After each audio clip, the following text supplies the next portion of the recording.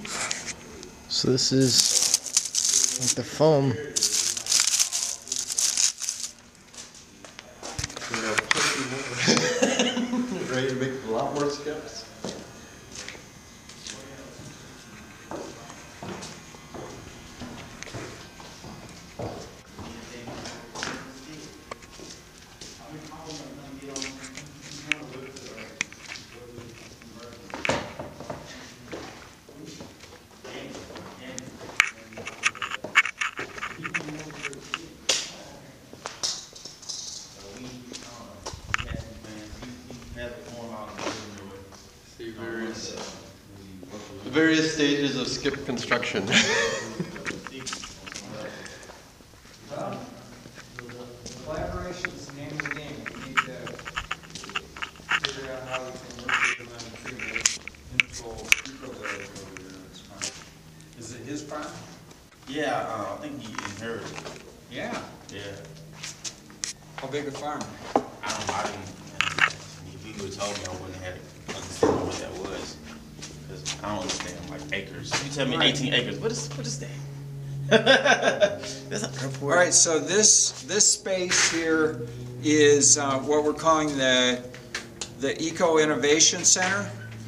And um, part of the reason it has all these wild and crazy shapes uh, is that uh, this will start out being the model and marketing office for the, the project, but it'll also, uh, there's a wraparound storefront up on the first floor there that goes right out to the sidewalk level, so um, it's a accessible space. Um, And that's going to be the, uh, the business end of, of all these cooperative businesses. We're going to have shared administration, so the network of cooperatively owned businesses will actually have a cooperative um, management and clerical.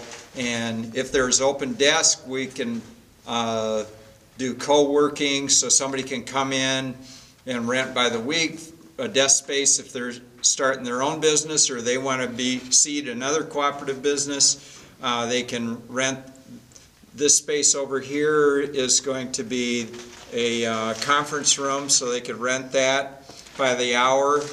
Um, And this, this is a live workspace, so Carol and I are actually, actually, our private living space is up, upstairs. This is the kitchen dining area here.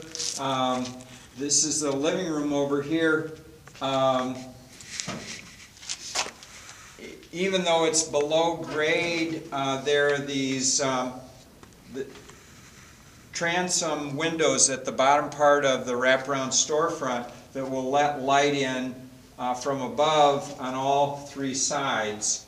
Uh, This is a fireplace in the middle that's actually going to be a charcoal maker. Uh, So we'll uh, start the process with um, methane gas from our methane digester, and then uh, once it uh, heats up, so there'll be a barrel uh, that you put wood waste in, and um, once once that gets heated to the point where it's driving the gas off, then it's it's plumbed so that so that the wood gas kicks in and finishes the process, and so you're uh, putting much less um, uh, particulate matter and stuff into the, into the atmosphere. We'll actually have some scrubbers on this on the the stack so that there's very little, and then that charcoal can be used for um, in our water filters and and um, and different different uh, processes uh, and specialty charcoals, uh, you know, for um, making smoked things. Um, and then around the edge there um, will be fish tanks. And um, uh, we'll have cold water fish down at this level in the basements. Um, where those, uh, the front wall is, is insulated, and we'll act- actually have some, some glass doors to, so that we don't have a humidity problem, but still get the light in. And then that water from those fish tanks will be circulated through uh, green growing walls on the outsides of the buildings. And also, uh, this will be a green wall right here, so it'll have a gutter along the bottom, and the water will come out and trickle down. Um, And this, this front face here under this skylight will also be a, a green wall. And um, so we'll, we're basically doing hydroponic gardening uh, using the um, fertile water from the, from the fish ponds. The, uh, uh, the plants will clean and aerate the water before it's returned to the fish ponds.